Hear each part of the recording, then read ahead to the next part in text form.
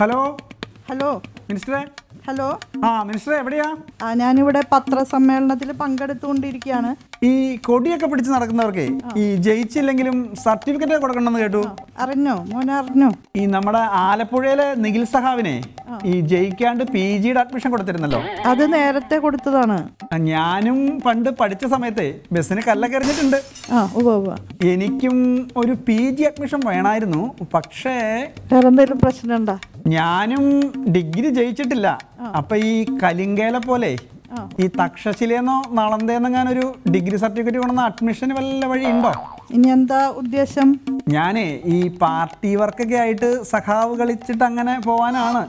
ആ വളരെ വളരെ സന്തോഷം.